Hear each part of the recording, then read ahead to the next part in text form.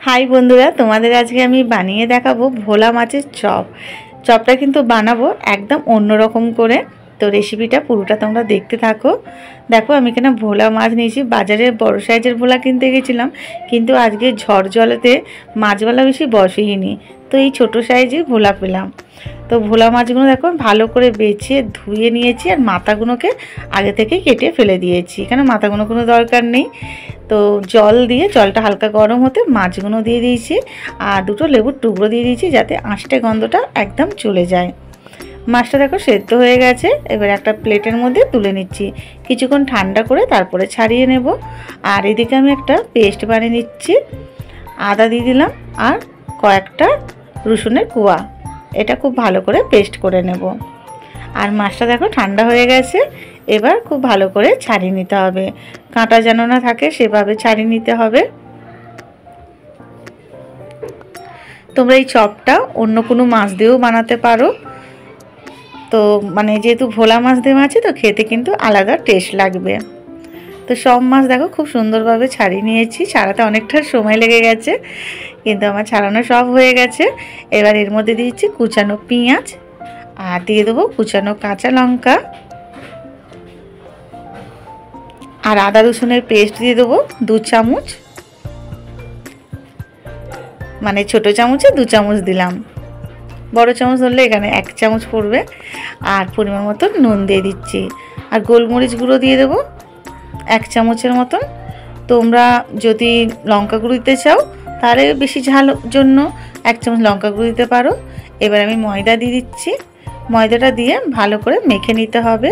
তো যতটা ময়দা লাগবে, সেই অনুযায়ী তোমরা ময়দাটা দিয়ে দেবে। দিয়ে হালকা যেন একটু টাইট হয়, সেরকম মাখতে হবে। আর অল্প একটু দিয়ে দেবো রিফাইন তেল।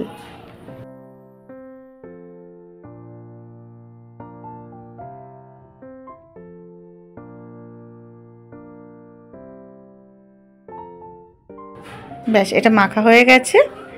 এবার একটা বোলের মধ্যে আমি দু চামচ ময়দা, একটু গোলমরিচ গুঁড়ো আর সামান্য একটু নুন দিয়ে অল্প একটু জল দিয়ে এটাকে গুলে নেব।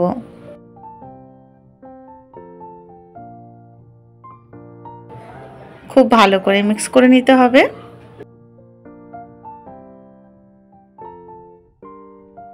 এবার হাতের মধ্যে নিয়ে তোমরা যেরকম পারবে চপের আকারেও তোমরা মানে গোল গোল করে বানিয়ে পারো বা লম্বা করেও তোমরা বানিয়ে নিতে পারো। তো আমি এটা চপের আকারে বানাবো না, ঠিক এই টাইপের বানিয়ে নিচ্ছি।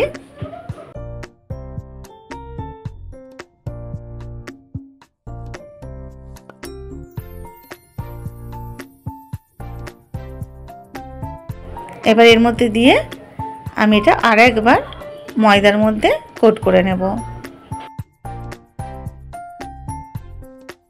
ব্যাস, এবার ঝেড়ে ঝেড়ে তুলে নিতে হবে। এইভাবেই আমি সব কটা বানিয়ে নেব।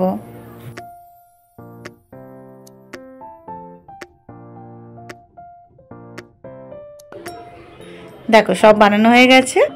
এবার আমি তেল দিয়ে দিচ্ছি, রিফাইন তেল। তেলটা খুব ভালো করে গরম করে নিতে হবে।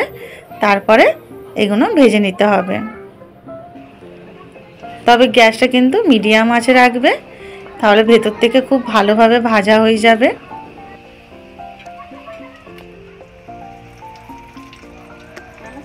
দেখো, এক পিঠটা ভাজা হয়ে গেছে। আরও এক পিঠটা ভেজে নিতে হবে।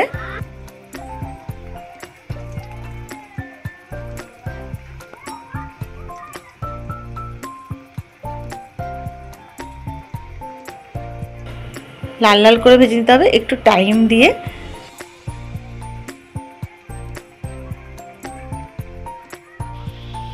দেখো, এগুলো ভাজা হয়ে গেছে, এবার আমি তুলে নিচ্ছি।